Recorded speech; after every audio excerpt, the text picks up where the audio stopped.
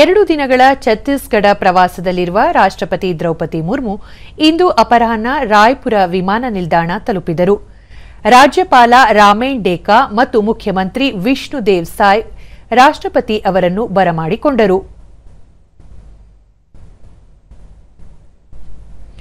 ರಾಷ್ಟ್ರಪತಿ ಅವರು ರಾಯ್ಪುರದ ಅಖಿಲ ಭಾರತ ವೈದ್ಯಕೀಯ ವಿಜ್ಞಾನಗಳ ಸಂಸ್ಥೆಯ ಎರಡನೇ ಘಟಿಕೋತ್ಸವದಲ್ಲಿ ಇಂದು ಪಾಲ್ಗೊಳ್ಳಲಿದ್ದಾರೆ.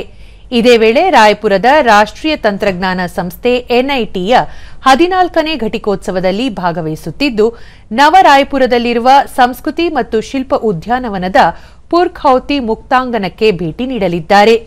ನಾಳೆ ಅವರು ಭಿಲೈನಲ್ಲಿರುವ ಭಾರತೀಯ ತಂತ್ರಜ್ಞಾನ ಸಂಸ್ಥೆಯ ನಾಲ್ಕನೇ ಘಟಿಕೋತ್ಸವದಲ್ಲಿ ಪಾಲ್ಗೊಳ್ಳಲಿದ್ದು, ಛತ್ತೀಸ್ಗಢ ಪಂಡಿತ್ ದೀನ್ ದಯಾಳ್ ಸ್ಮರಣಾರ್ಥ ಆರೋಗ್ಯ ವಿಜ್ಞಾನ ಮತ್ತು ಆಯುಷ್ ವಿಶ್ವವಿದ್ಯಾಲಯ ಘಟಿಕೋತ್ಸವದಲ್ಲೂ ಪಾಲ್ಗೊಳ್ಳಲಿದ್ದಾರೆ.